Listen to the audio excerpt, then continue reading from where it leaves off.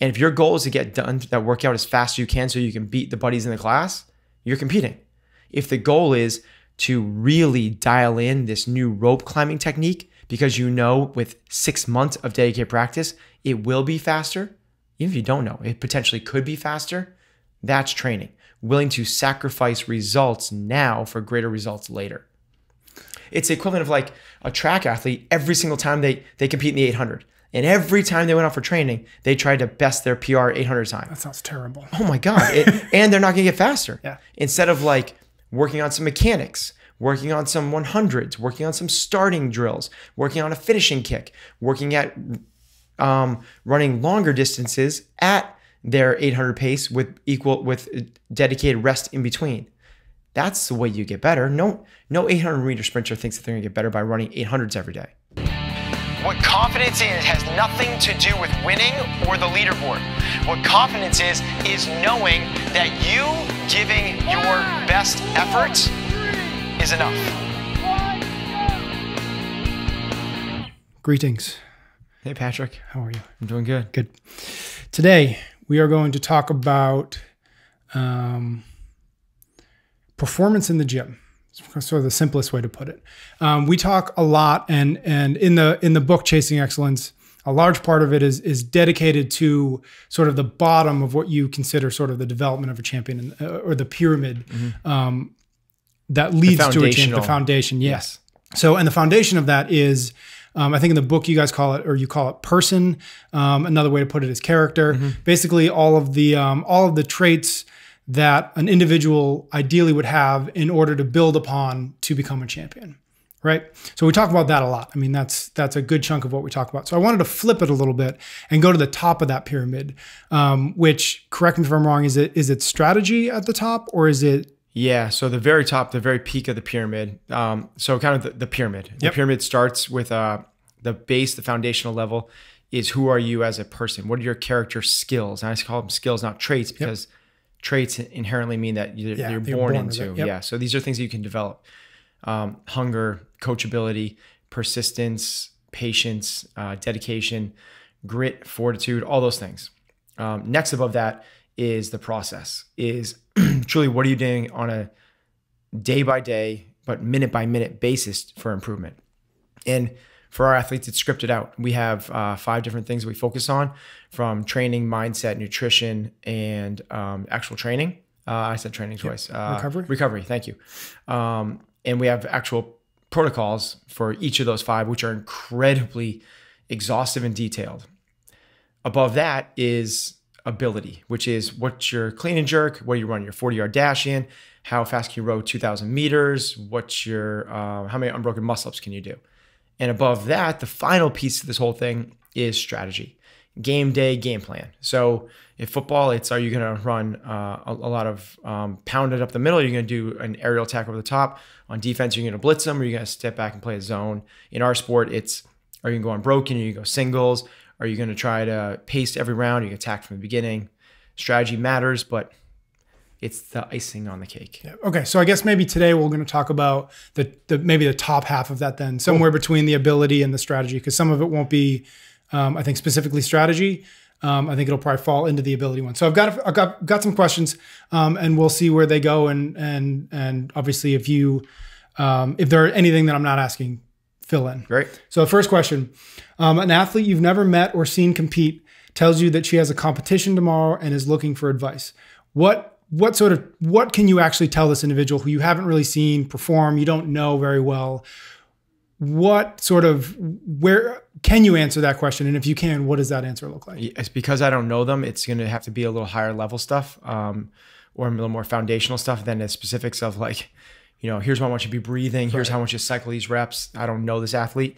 Um, I probably give them a couple like broad things, um, which is what it's take one workout at a time. In our sport, we have multiple workouts in a day. You the next workout can't affect what you're doing right now. And the last workout you just did can't affect the next workout. You literally have to compartmentalize and focus literally just on this one thing. Similar to that, it doesn't matter what's going on around you, it's all about what you're doing. Can you reach your potential? If you're just trying to beat the person in front of you or to the next of you, you're trying to clear a bar that's just imaginary. I want to know what you're capable of. What can you do? It kind of like uh, cliche type stuff, one workout at a time, right? The next would be to um, focus only on those things which you have control, right? So a lot of people worry about the judges no no repping them. They worry about the workout that's announced that there is their weakness. They worry about um, who else is going to show up to this competition. You have no control over that whatsoever. You are really you're trying to control the weather. It's like let it go. Like yeah. focus on you and your best effort. But then, uh, uh, really, those are kind of like higher level, yeah. almost cliche type things. But if you put them into practice, will move the needle for you. People look at them like, yeah, I know that. Yeah, yeah, yeah. Okay. Um, in actionable, a really like tangible, which I would give to almost everybody. There's a very rare person that doesn't fit this mold. Is relax. What a lot of people do before they go on the field, go on the ice, go on the court, or go on the gym floor. Is that what yeah, we do? I don't, I don't whatever we the do. Floor, yeah. The, I guess the, maybe the that's mat. the closest. This is another one. Like whatever before you go to on to compete. Most people are like trying to get psyched up and pump themselves up. They're listening to heavy metal music or or whatever it is for them. They're you know having um, extra caffeine. They're you know pumping. Themselves. Most people when they get on the competition floor, that's not the issue what we should be doing is the opposite is trying to relax, trying to get as much into this zone as possible. With athletes called flow or in the zone. And that only happens when you're basically in the parasympathetic nervous system. You're rest and digest. You're not fight or flight. You're not ah like you know that can help in a very small sliver of competition. Most performance gains happen when you're more relaxed. So I would do the opposite. I was listening to classical music. I would listen to light jazz. I would do breathing and meditation. I would do things that removed you from stimulus, not the opposite. What happens? What have you seen happen when an athlete tries to sort of pump themselves up before a workout? Like what what what tends to be the result of that? So they're in this uh, highly heightened aggressive state where it's the fight or flight, and a judge calls no rep, and what are they gonna? How are they gonna respond to that? Like they're they're instead of like like a judge calls no rep, it's like, I got it, bro. Good, got it. They they take the the onus off of their own performance and they're so geared up that they can't. Think of like think of a they overreach. So think of a baseball pitcher coming in the ninth inning of the World Series, and before he goes on the floor, he's like yelling in the dugout, like yelling in the dugout, and like a few sports this might work for, right? Like Olympic weightlifting, it might work for you, right? Um, where it's like this one small, instant, real quick burst. But tends to more likely to happen is when this pitcher comes in the ninth inning of the World Series. He's there to get nine strikes, you know, to close the game. He's gonna he's gonna have a hard time throwing strikes. He's gonna be throwing it higher in the dirt. He's gonna have a hard time controlling it, and he's not gonna make as good decisions because he's gonna be so hyped up. Better is to go in like confident, cool, collected, because if you want that heightened thing, for most of us, it's there. The fight or flight is there. You are in a competition. There's a crowd. There's a leaderboard. Like that's not what that's not the issue at hand. It's not harder to get hyped up. It's harder to get calm. The instance that um, I'm curious where, if you were to go back, you know, with this in mind, the gosh, not two years ago, Cole needing to win the workout. Yeah. The rope climb thruster workout that yep. he won. He came back from behind, all that, all the good stuff that most people remember. Is that the time that you would want him to be psyched up in a workout that's, I don't know how that long that lasted, but five minutes? Yeah. Where it was literally, it was all or nothing. It, it, if he didn't win the workout, he, he wasn't like, is that the scenario where yeah, being psyched up would be useful? Or even then, do you think um, calm so matters? For Cole in that moment for that workout, and this is Cole in that workout, which was thrusters and rope climbs that's going to last two and a half minutes. Um, it was time for him to run through a brick wall. Yeah.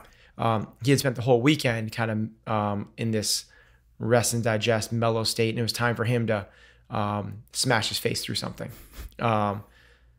But that's a that's the exception that doesn't prove the rule. Right, right. Okay. So next question is what is something that people, that athletes, that competitors are doing in the gym um, that is proving to be a hindrance to their overall performance when it comes to uh, game day or, or, that competition weekend?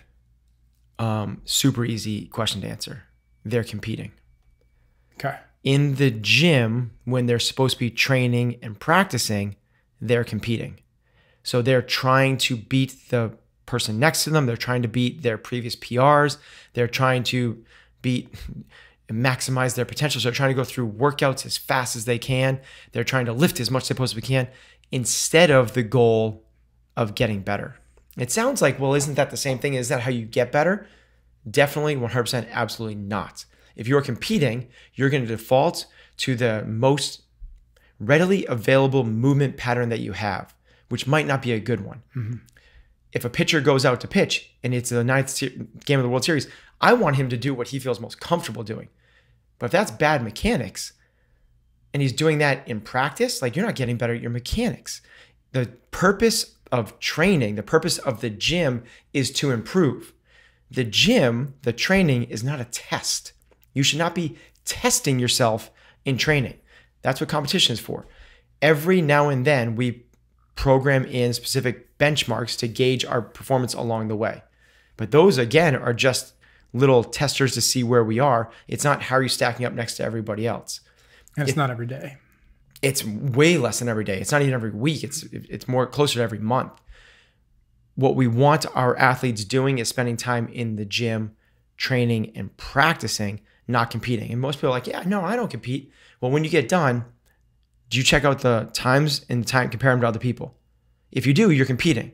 If you don't care what the time is at the end, but you're there to get better, an example of this be like, let's say there's a workout that has um, thrusters, and rope climbs.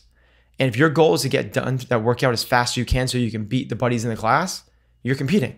If the goal is to really dial in this new rope climbing technique because you know with six months of dedicated practice, it will be faster. Even if you don't know, it potentially could be faster. That's training. Willing to sacrifice results now for greater results later.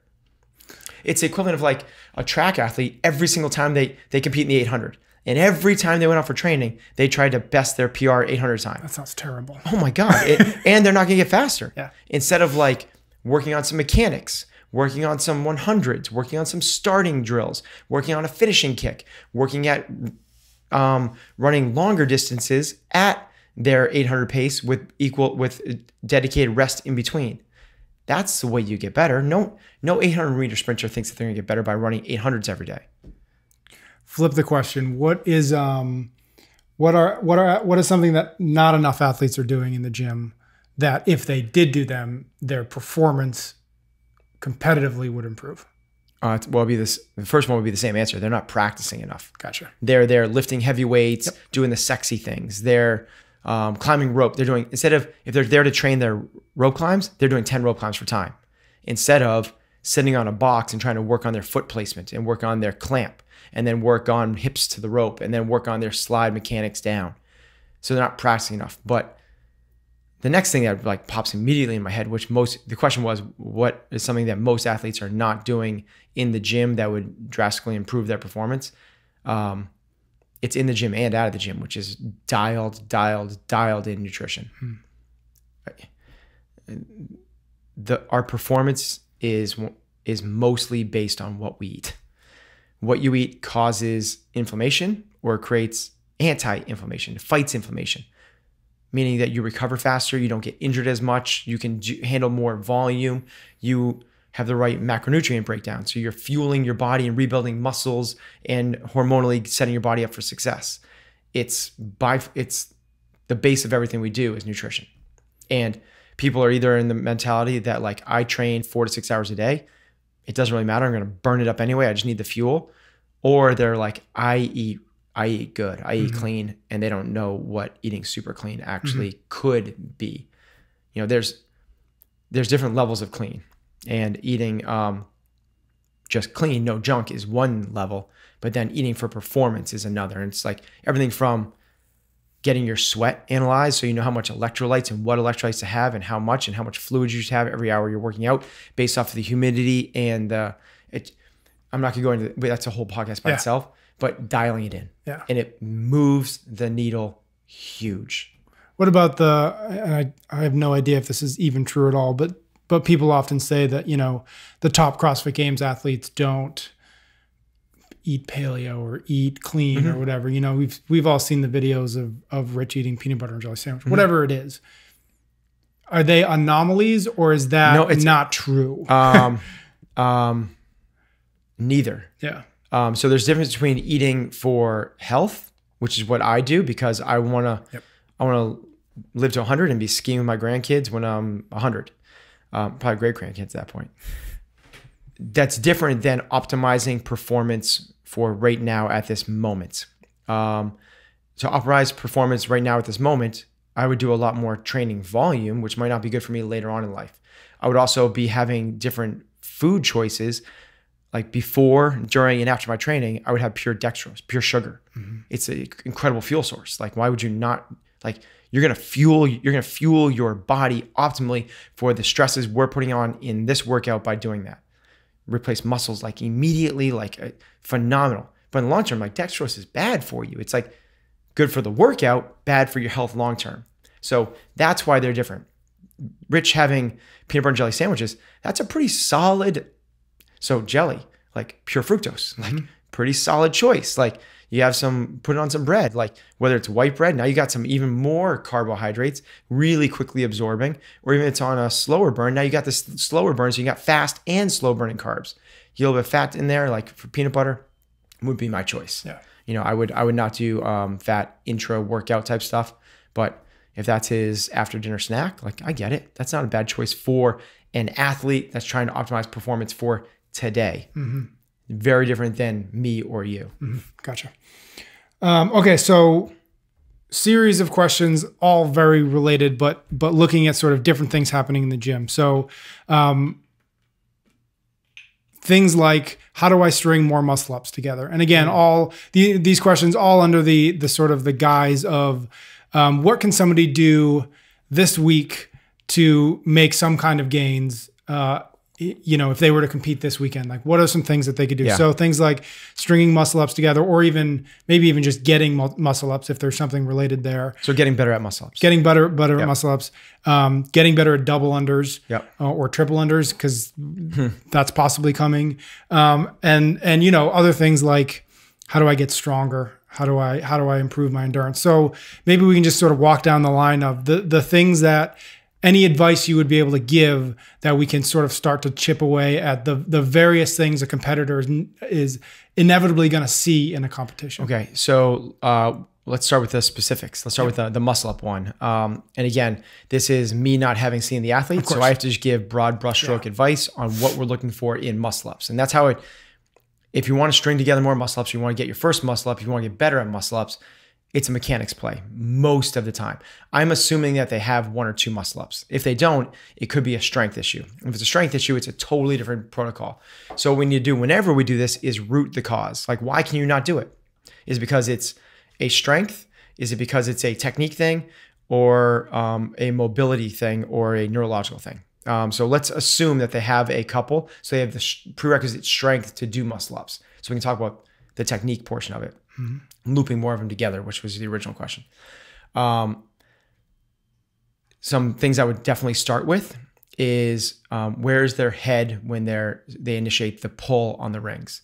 Most people are staring up at the ceiling. They should be looking straight ahead. If you look up at the ceiling, you're going to put an arch in your back and you lose a hollow position.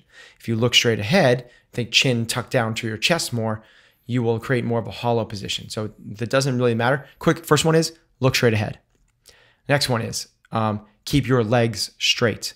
Most people do the opposite, where they do this big, huge hinge in the hips and in the knees, where they're literally trying to like get themselves up into like a chair, put their feet up on a ledge. Yep. You should be trying to keep your legs as straight as possible as you come from that back kip, that Superman position, in through legs passing straight underneath the rings. And literally, when they're behind you, they're they're straight, straight, perfectly straight. They come back through middle. If you're watching a video and you paused it, they should be hanging hands, head, hips, uh, shoulders, hips, heels, all in a straight line. And then as it passes through, their legs should stay completely straight. We're trying not to create a hinge in the hip. We're trying to find a hollow position, kind of where you bring your ribs towards your hips. And then the next thing I would do is how um, high are they bringing their knee, uh, their their feet. The idea is once you can see, because now you're looking straight ahead. Once you can see your feet, you're trying to stop immediately. Stop the momentum of your feet, and that will pop your hips up vertically to come up and over the rings. It's think about like riding a skateboard and the bigger your back hip, the faster you're going on a skateboard. And all of a sudden you hit like a pebble in the road. The skateboard stops, your feet stop, and you go flying. The momentum. The momentum. Yep. That's the idea. So said backwards the other way, from the ground up, keep your legs straight, keep your knees straight, hips straight, find a hollow position through your hips, keep your head looking straight ahead, stop your feet once you can see them.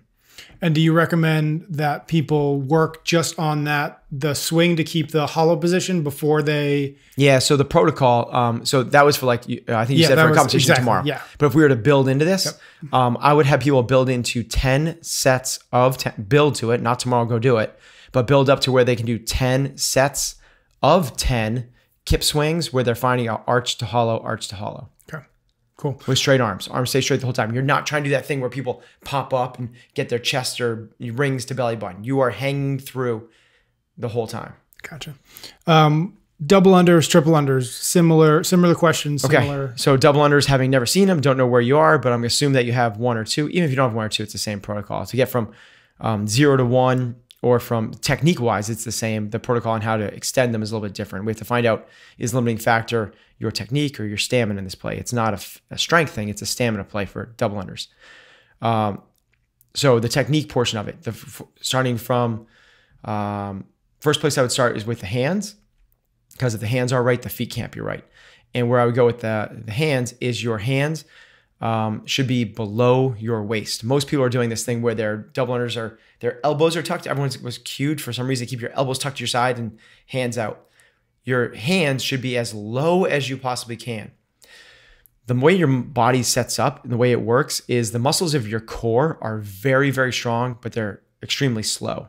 Think about like your hips, right? When you squat, really strong, but you're moving that thing really slowly. Well, the as you work your way out from core to extremity, from your midsection out towards your arms, your shoulders are faster than your abs, but they're not strong. Then from your shoulders to your biceps, your biceps can be you can move your forearm faster than you move your upper arm. And then you get to your fingers and your wrists, they're really, really fast, but they're not strong. Yep. You're holding a, a rope that weighs a quarter of a pound. Like you don't need to be strong, you need to be fast. So let's not put this in your shoulders or your elbows, put it in your wrists. You do that by keeping your arms as straight as you can. So your arms should be really, really straight. The straighter, the better. If you watch, I believe her name is Molly Metz, um, and she's I think you're right. if she's not a world record holder, she's really, really, really good. um, and it's uh, how long can it's not how many can you do, but just how long can you do double unders without stopping. And people are like, "Oh, my buddy's so good at double unders. He can do, you know, 300 double unders unbroken. My buddy can do no, my buddy can do 500 double unders unbroken." Molly does 10 minutes of unbroken double unders. If you're getting the normal protocol is like two reps a 2nd mm-hmm. That's 120 a minute. She's getting 1200 unbroken. Is that right? Am I right? Yeah. Or is it? Yeah. I think so. 12, whatever. She can do over a thousand unbroken easily. And she gets done and she's like, that was good. Yeah. Arms are totally locked out, pinned right down by her sides. So that's the first one is get your arms and hands in the right place. Think about drawing tiny, imagine if you had like a whiteboard markers, not the jump ropes, but whiteboard marker ha- markers in your hands and whiteboards right off your thighs. Draw the tiniest little circles you can with your wrists. The bigger the circles, the worse you're doing. Gotcha.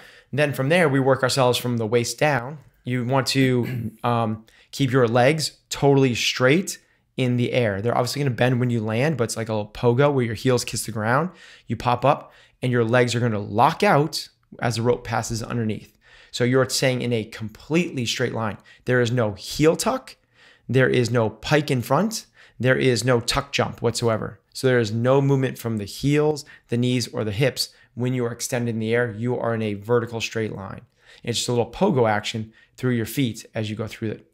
If you keep the rope down low, you don't need to jump very high. The rope is only an eighth of an inch tall. That's how high you need to jump. You need to jump an eighth of an inch. You just have to jump in the air long enough for it to pass under twice. It's not how high you have to jump, it's how long you have to be in the air. So you can shorten that up by a faster turn. The faster turn happens in the wrists, not in the elbows. Gotcha.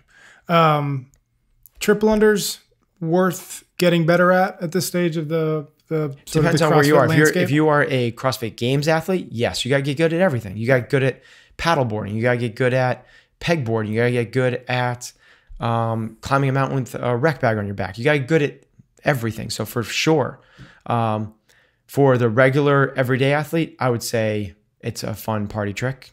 Um, it's probably not something you need to spend a ton of time on. If you can do 200 unbroken double unders, I'd say you're ready to start playing with triple unders. Until then, like just focus on the double unders. Anything special about the triple unders worth talking about, or is it? No, it's the same deal where you're um, the faster you can whip the rope, the less high you have to jump. So what people end up doing is they like I'm doing triple unders, so Jump super high. They even up do have a bigger circle with their arms, and then end up having to jump even higher. So the feet are going to follow the hands in this situation. So if you can keep it a fast turn with the wrists, you don't have to jump as high. The only um, exception I might make there is as you um, go from singles, as you go from doubles to triples to quads, um, you it, it you can bend your knees up to allow more um, um, margin for error. If you bring your knees up, you spend more time in the air, and your feet aren't there to get tripped on tripped on the rope as easily.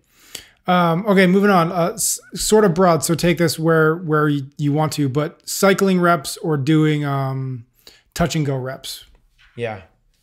How how do you begin to be able to do that efficiently? Um, I would I would say it starts with your grip. It starts with being able to reestablish a hook grip on the way down. Um, so some people are um, have trained enough or um, through their background are fortunate enough to have good mobility to be able to maintain a hook grip in the overhead position of um, a clean, particularly, um, or even a snatch. A snatch is actually probably easier of the two to hold onto the hook grip. Um, but if you can't do that, it's being able to reestablish the hook grip on the descent. And you do that during free fall. So as you're coming off of your shoulders or from that overhead position and the bar is returning to the ground, can you reestablish the hook grip and then find a good position on the way down? After the grip, the next thing I would focus on is making sure that you are um, setting yourself up in the proper starting position. Because as you start to cycle, the thing that gets lost most of the time is you're not setting yourself up. You're getting too far over the bar. Said another way is your butt is too high. Said another way is your legs are too straight. So on the way back down, you need to bend your knees is the easiest cue and sit your butt down lower to get a little more squatty. That's a really specific cue that uh, might not be appropriate for everybody because but that's generally what happens as people start to rep through the stuff um, the next thing i would focus on or these are probably not a b c or step Yeah. one two three they're all together is um, not being sloppy people now i'm cycling and they're going to try and go as fast as they possibly can try and build in th- there's a reason that mechanics are important they are the most efficient way to move period. Whether it's a barbell or move an external load or move yourself or whatever it is, you need to focus on those proper mechanics, whether you're trying to cycle fast or just do a one rep max. So I would try to get um, where you're still continuing to, if it's the snatch, you know, you're trying to still pull the bar in, engage the lats, find the pockets, hit that extension, you know, pull yourself under the bar, not um, pull the bar up, all those normal things of bar path position, static uh, uh, setup, grip, all the rest. Would you, um, when you talk about go, bringing it back down and reestablishing that starting position, or is when you're doing it for reps and uh, presum- presumably at a lighter weight, are you looking I- ideally to get to the same starting position as you would if you were doing a, a weightlifting session where you were doing clean and jerks for um, not for reps but for for weight? Yeah, for the answer is weight? yes. Okay. Yeah, the, the the optimal positions are the optimal positions, Okay. regardless if you're doing um, grace, if you're trying to do. Now, there's little deviations here. Let's say grace, which is for those that aren't in CrossFit, and be shocked if people are still listening to this and not in cross. Um, it's 30 clean and jerks as fast as you can. Yep. There's little kind of uh, I don't want to say shortcuts, but little places you can take advantage of. So the starting position um, on the clean is still going to be the starting position on the clean, but the starting position of the jerk is actually the receiving position of the clean. So you're not going to finish the clean; you're going to transfer the clean into the jerk. So um, generally speaking, the starting positions and the fifth positions are the same. The bar path throughout is the same, but there's these little kind of like nuancy things you can take advantage of. Gotcha. Okay. Um, what advice do you have for? Let's let's let's keep it with this sort of the event. Like I, I've got an event this weekend or a competition, and one of the events has either a rower or an or a, or a bike or a Trueform or you know what some sort of you know of the uh, some device that we often use in the gym. Yeah. And now you've got to sort of maximize that in a in a competitive event. What advice do you have for tackling events that have those sort of so, sorts of things in them? Um, so if we knew the event, we could uh, give a lot more specifics to it. If I knew the event and the athlete, it'd be a lot more specific. Yep. But broadly speaking, uh, the biggest thing to recognize is: Are we going for distance or for energy expenditure? Are they measuring? Is the task to complete 500 meters or 50 calories? And that's going to dictate basically the whole approach regardless if it's a uh, bike or a rower. If it's for distance, cruise, bro. Like this is your chance to catch your breath. Mm-hmm. You have to work so hard. So, and anybody that's been on a rower has experienced this. If you're rowing a 145 for a normal person in a, that workout, that's like a, a, you know for a fit person, that's kind of a guy. That's a normal place to be in. Three rounds for time, 500 meters. That would be a seven minute um, 2K. That's a normal pace. You have to work so hard for so long to get that down to 135. Mm-hmm. That's 10 seconds you gained. The person that's rowing 145 is probably going to beat you in transition to the next movement. Now, if it's 500 meters for time, that's it. Yep. Doesn't matter. Yep. You got to go. But the biggest thing is um, recognize if it's for calories or for distance because distance is measured linearly and it's a chance to catch your breath. You won't get it back if you work extra hard. For me, for calories, it's the opposite. For calories, if it's 15 meters and you cruise, you're going to be on that thing for a very long time. That's the time to put in. That becomes way, way, way more important, particularly if you're a big, powerful dude. Um, so, for example, if let's say we're doing like a workout that was uh, one round of Cindy, right? Which is five pull ups, 10 push ups, 15 squats, and we're doing a 20 calorie row. So the workout is five pull ups, 10 push ups, 15 squats, 20 calorie row. And we're to do that for five rounds. If you have a big, huge, super powerful dude who's not very good at pull ups, push ups, or squats, but can hammer the row, there is a there's no way a little ninja dude who will cruise, rip through five, 15, five butterfly pull ups, 10 quick little push ups, and lightning fast air squats will beat the other dude. Mm-hmm. Can't do it because he can't make it up because when it's measured in energy expenditure, it's, it's exponential. And that dude, when he's rowing 1800 calories an hour, is going to go done it so fast compared to the other little dude who's rowing 1150. It will not even be a contest. The guy could literally break up his push ups in sets of two and take a break on the squats. And I promise you, the big dude wins. Mm-hmm. Cool. Um, last question is for those athletes listening who don't have access to a coach um, or don't have an access to a sort of a competitive coach, let's mm-hmm. say, um, what can they do to uh, improve, knowing that they don't have somebody sort of with their eye with eyes on them to either help technique or work on program, whatever it is. Um, what kind of advice can, do you give to an athlete who is sort of lacking that that resource?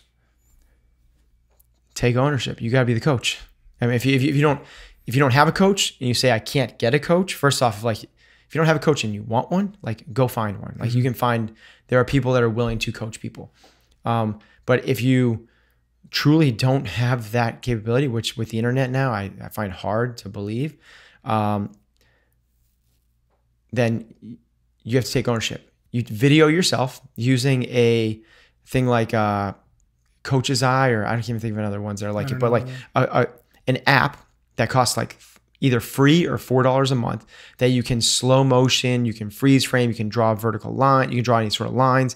Use an app like Coach's Eye, and then go on YouTube and and click on slow motion dot dot dot mm-hmm. slow motion muscle ups slow motion um, clean and jerk, slow motion um, Usain Bolt 100 meter sprinting, slow motion swimming, or tutorial swimming, tutorial sprinting, tutor- and educate yourself mm-hmm. and watch them versus you and try to figure out where the faults are. And then from there, break it down. Don't try and get better at the whole thing. If you have trouble missing um, the um, the your pockets on the snatch. Don't try and get better by doing snatch.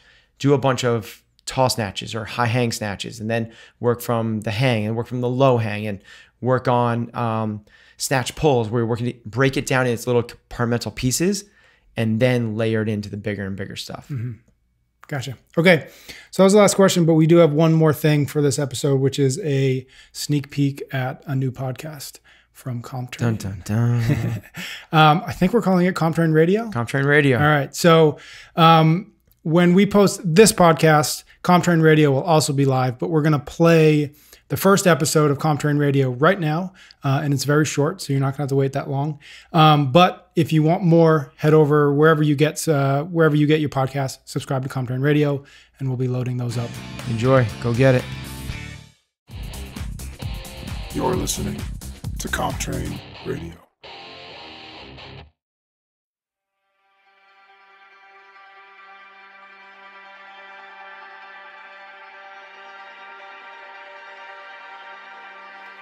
Mike Tyson had a saying Everybody has a plan until they get punched in the mouth. Here's the only thing we can be certain of things will not go according to plan. We're going to get punched in the mouth. It will happen when our judge loses count, when we get a no rep for no reason, when the monitor doesn't turn on, the collars slip off, or our shoes come untied. It will happen when we don't get a full night of sleep, when it downpours, when the traffic is terrible, and when our goggles fill with seawater. It will happen when it's 110 degrees on the competition floor, when we miss the lift, when we fail the rep, when the worst thing becomes the real thing. It will happen when somebody laughs at our ambition. We're going to get punched in the mouth. Knowing things will go wrong is what keeps most people on the sidelines. Most people seek to avoid the struggle. But we are not most people. When the fists fly, we charge headlong into the fray. Because we saw the struggle coming, because we want what's on the other side more than we want to stay comfortable, because we know a secret. That adversity is the only shortcut to greatness, and it's a far longer road than most are willing to walk. When most people want to look better, we want to be better. When most people want to play it safe, we want to play it loud. When most people hope for the best, we expect the struggle, and we expect to overcome it. We know the road will be long and full of twists. We know our faces will become caked with mud. We know we will be tempted to quit, to give in, to stay quiet. We just start and we move and we fight, no matter the number of punches that are thrown at us. Because how do you defeat somebody who refuses to stay down?